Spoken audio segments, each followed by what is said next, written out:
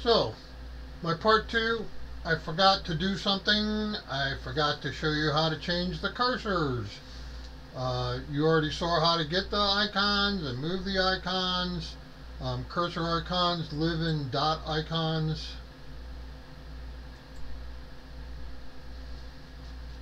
So we're gonna settings manager. This time we're not going to appearance. We're going to go down here to mouse and touchpad. We're going to go over to theme and this is where those themes show up. So I can change to this icon, to I mean to this cursor, to that cursor.